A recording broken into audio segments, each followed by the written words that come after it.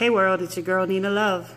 And I just wanted to make a quick video and show everybody some of uh, all of the journals that I've written over the years, handwritten over the years.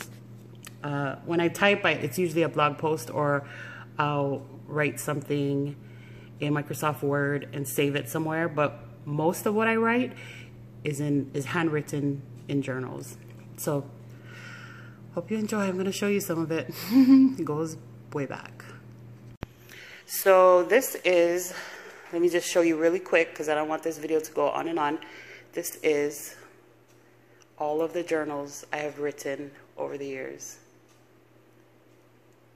And except for one journal, this big fat one, all the other journals are full until the very last page.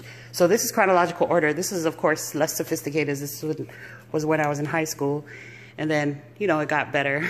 I got fancier journals and books. And most times people buy me journals now because they know I'm going to use it. So that's a perfect gift anybody can give me is a journal. Uh, this is 2008. I tell you, I write to the very end, till the very last page. And uh, this is my most current journal.